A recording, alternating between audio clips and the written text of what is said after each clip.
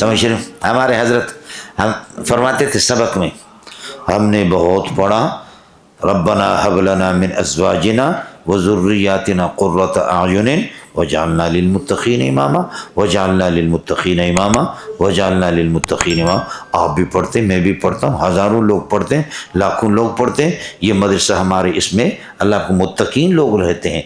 ये मदरसे इसमें सारे तलबा इस मुत्तकीन हैं। अल्लाह में मुत्तकीन के इमाम बना दे। हमने भी ये दुआ की, सबने दुआ की, लेकिन किसी की दुआ कबूल नहीं होगी। एक चरवाहे का बेटा आकर हमारे इमाम बन गए। वो चरवाहा में था। चरवाहे का बेटा मैं।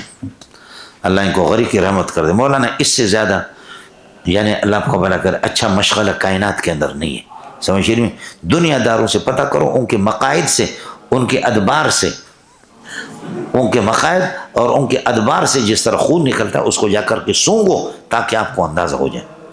समझ में है कि नहीं? आपको क्या पता है? अल्लाह ने, आप खुद नहीं आए, अल्लाह ने आपको भेजा है।